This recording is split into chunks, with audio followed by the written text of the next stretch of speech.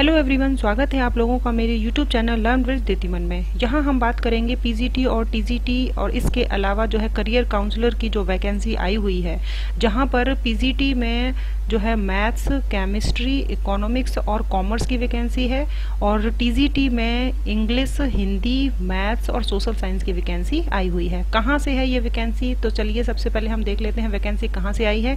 केंद्रीय विद्यालय खुर्दा रोड से आई हुई है। यहाँ पर किसी भी प्रकार का कोई भी आपका एग्ज़ाम नहीं लिया जाएगा। केवल और केवल आपका इंटरव्यू होगा। तात्कालिक साक्षात्कार और रिज़ल्ट भी जो है वो फटाफट जो है वो आपके आ जाएँगे।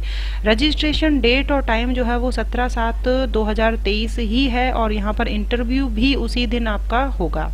ठीक है तो उसी दिन जो है रजिस्ट्रेशन है और उसी दिन जो है वो आप लोगों का यहाँ पर इंटरव्यू हो जाएगा। तो इंटरव्यू जो है वो इतना ज़्यादा हार्ड नहीं होता है। नॉर्मल ही क्वेश्चन आप लोगों से पूछे जाएँगे, आपने बी किया हुआ है तो आप यहाँ पर एलिजिबल हो जाते हैं और उसी तरीके से प्रश्न भी जो है आपके सब्जेक्ट से संबंधित पूछे जाएँगे। रिज़ल्ट जो है, आप देखिए, अट्ठाईस सात दो को आ जाएगा, ठीक है? तो चलिए हम देख लेते हैं यहाँ पर क्वालिफिकेशन जो है, अगर आपने दो साल का पोस्ट ग्रेजुएट एमए या एमएससी कोर्स किया हुआ है अपने सब्जेक्ट में तो आप यहाँ पर एलिजिबल हो। साथ में जो है वो बीएड मांगा गया है, ठीक है? और आपको जो है, मैं बता दूँ, यहाँ कई बच्चे पूछते रहते हैं कि यहाँ मीडियम जो है वह हिंदी होगा या इंग्लिश होगा। तो यहाँ पर साफ़ साफ़ लिखा हुआ है कि केंद्रीय विद्यालय में जो भी वैकेंसी होती हैं, वहाँ पर हिंदी और इंग्लिश मीडियम दोनों ही स्टूडेंट जो हैं वो एलिजिबल हो जाते हैं। तो डरने की कोई भी बात नहीं है, यदि आपका मीडियम हिंदी है तो भी आप यहाँ अप्लाई करें। और सैलरी जो है वो आपको काफ़ी अच्छी जो है यहाँ पर मिलने वाली है। तो यहाँ पीजीटी मैथ्स के लिए अगर आपने पोस्ट ग्रेजुएट लेवल पर मैथमेटिक्स या अप्लाइड मैथमेटिक्स आपने लिया हुआ था तो आप अप्लाई करेंगे। यहाँ पर केमिस्ट्री या बायोकेमिस्ट्री थी इकोनॉमिक्स या अप्लाइड इकोनॉमिक्स या बिज़नेस इकोनॉमिक्स थी तो आप पीजीटी इकोनॉमिक्स के लिए एलिजिबल हो जाते हैं। पीजीटी कॉमर्स के लिए अगर आपको भरना है तो यहाँ पर मास्टर डिग्री कॉमर्स में मांगी गई है। डिजायरेबल क्वालिफिकेशन है नॉलेज ऑफ़ कंप्यूटर एप्लीकेशन अगर आपको नॉलेज है तो ठीक है, नहीं है तो कोई बात नहीं, आपको आपके सब्जेक्ट पे कमांड होनी चाहिए।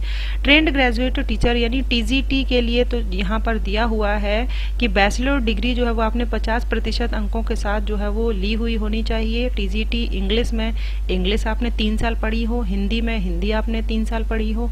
मैथ्स में जो है वो आपने यहाँ पर जितने जो सब्जेक्ट हैं physics chemistry electronic computer science statistic आपने बैचलर डिग्री में जो है इनमें से कोई दो सब्जेक्ट पढ़े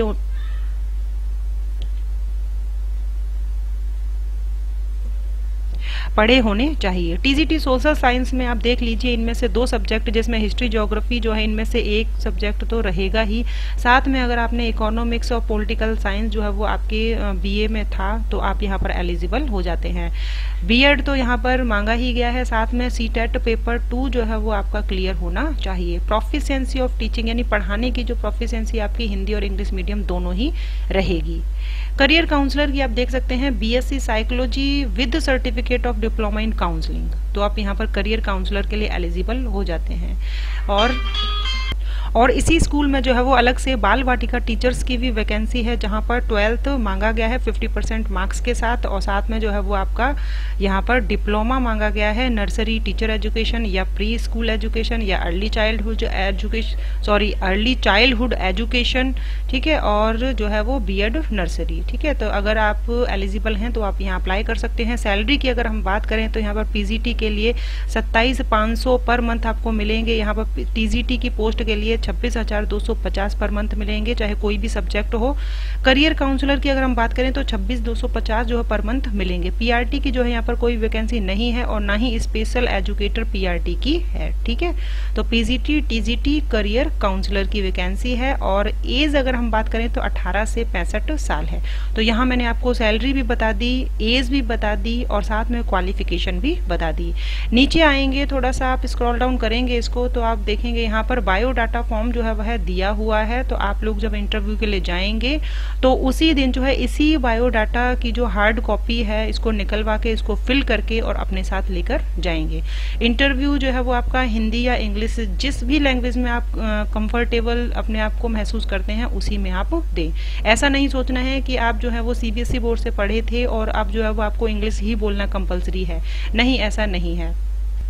तो ये पेज जो है वो आप स्क्रीनशॉट इसका ले लें, जहाँ आपको ये पता चलेगा कि सत्रह सात जो है आप लोगों का इंटरव्यू है और फॉर्म भी इसी दिन जो है वो आपका फिल होगा।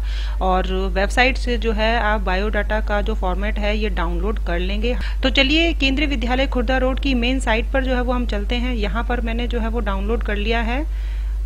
और आप ये देख सकते हो खुर्दरा रोड जो कहाँ है, भुवनेश्वर, उड़ीसा में। तो सबसे ऊपर जो है वो आप देख रहे हैं, बाल वाटिका एडमिशन नोटिस है और सेकंड नंबर पर है कॉन्ट्रेक्चुअल अपॉइंटमेंट एलिजिबिलिटी जून 2023 ठीक है, छह तारीख को जो है ये जो है पब्लिश हुआ है, इसको आप डाउनलोड कर लेंगे और डाउनलोड करने के बाद जो पेज ओपन होगा, जो कि मैंने आप लोगों को अभी बहुत अच्छे से डिटेल में दिखा दिया है। इसी के लास्ट में छह पेजों की पीडीएफ फ़ाइल है, जिसमें से जो फिफ्थ पेज जो है, वह आपका बायोडाटा फॉर्म रहेगा। ठीक है, इसको जो है वो आप क्या करेंगे डाउनलोड करके, इसको फिल करके और आपको इंटरव्यू के टाइम में लेके जाना है।